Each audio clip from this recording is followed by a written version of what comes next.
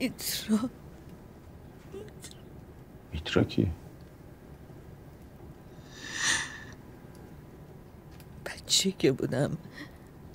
یه دختری تو همسایه که من بود اسمش میترا بود. انقدر خوشگل بود. دوست بچگیم بود.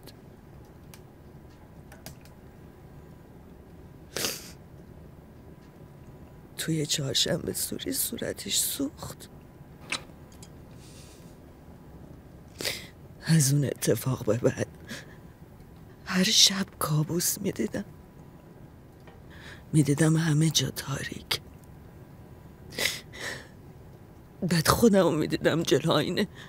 وایستادم یهو صورتم رو می‌بینم. صورتم عین میترا سوخته. جیغ می‌زنم. میترسم. همه ازم میترسن. خودم رو تو خونه حبس می‌کنم. همه ازم میترسن. بعد از خواب میپریدم. بابام میومد بغلم می‌کرد. می‌گفت حالا بابا. هیچی نیست بابا. هیچی نیست. خواب دیدی بابا. ولی دیگه بابام نیست. بگه بابا خواب دیدی. بابا هیچی نیست. خواب دیدی.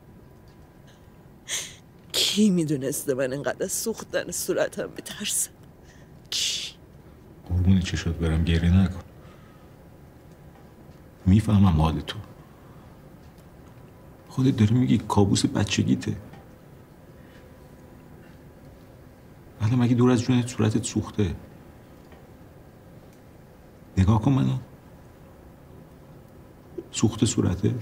اگه میسوخت چی اگه؟ چرا واسه اتفاقی که اصلا نیفتاده اینطوری خودتو باختی؟ چرا با ترس و کابوس داری خودتو داغون می‌کنی؟